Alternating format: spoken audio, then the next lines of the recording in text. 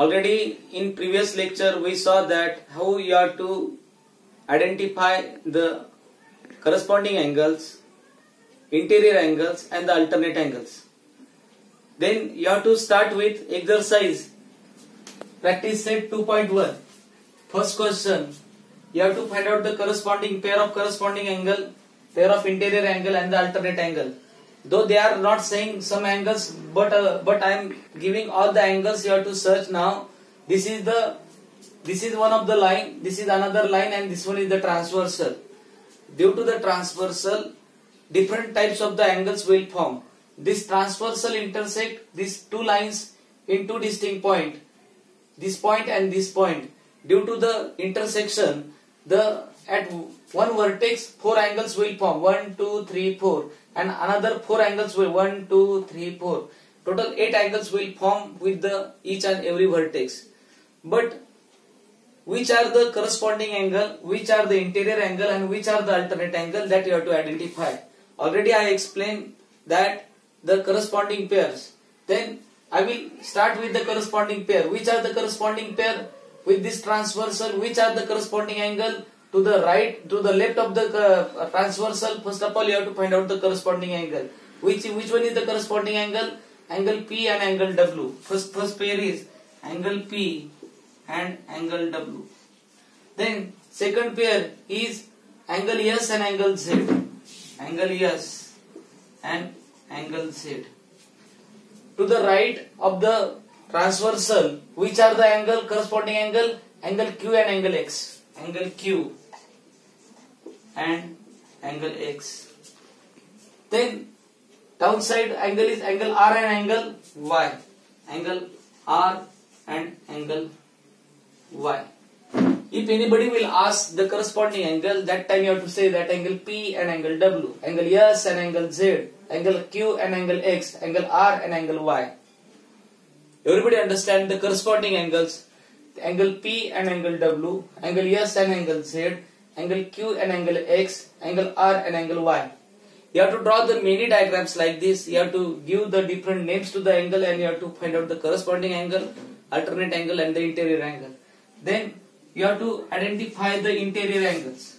Then interior angle. Interior, which are the interior angle? Within the two lines, which angles will form interior of the two lines? That angles are called as the interior angle. Already we saw the definition of interior angle.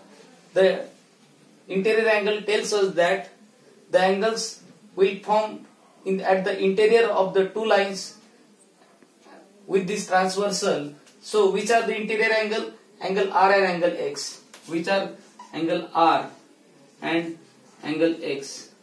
Then which which which one is another pair? Angle S and angle W. Angle S and angle W.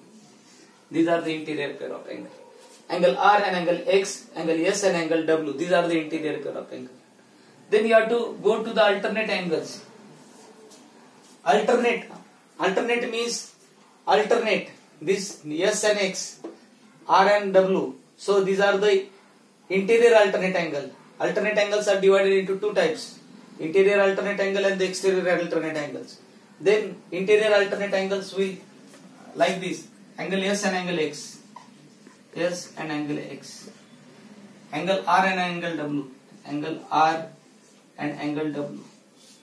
Then exterior alternate exterior alternate you have to start then you have to say that angle P and angle Y angle P and angle Y and angle Q and angle Z angle Q and angle Z exterior of these two lines these are the interior of these two lines these are the exterior of these two lines so you have to say that these are the interior alternate angle and these are the exterior alternate angle all of you understand again I will explain First of all, I will tell the pair of the corresponding angle, angle P and angle W, angle S and angle Z, angle Q and angle X, angle R and angle Y. These are the corresponding angle.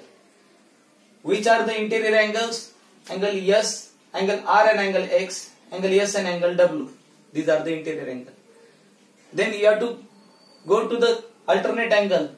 Interior alternate. Interior alternate is angle S and angle X, angle R and angle W exterior alternate angle P and angle Y, angle Q and angle Z.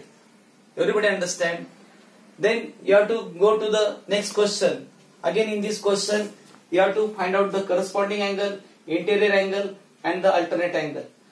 This and this diagram is one and same. Only this diagram is turned like this. So you have to say that this is the transversal. This is the transversal. This transversal intersect two lines in two distinct points. So you have to say that due to the intersection with this one vertex, eight angles will form, and with this vertex, eight angles will form. But you have to find out the corresponding angle. In the same manner, you have to find out the corresponding angle. You have to turn the figure like this. At that time, you have to say that angle A and angle E are the corresponding angle. Angle A and angle E. Then, angle B and angle F.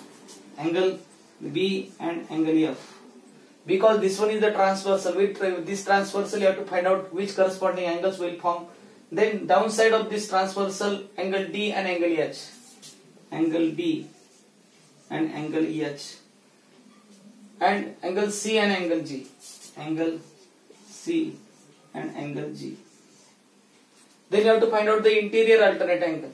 If this within these two line which are the interior? Which are the interior angles?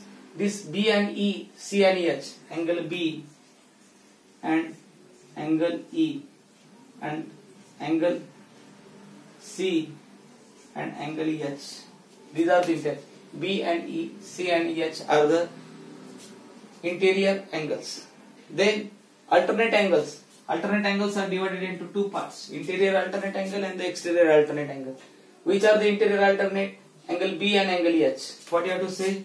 angle B and angle H. Then angle C and angle E. What you have to say? Angle C and angle E. Angle C and angle E. Then you have to find out the exterior alternate. Angle A and angle G. Angle A and angle G. And second pair, angle D and angle F. Angle D and angle F. I think you understand all these things. Properly, you have to draw the diagrams, write the questions in the notebook, and complete your notebook properly. Thank you.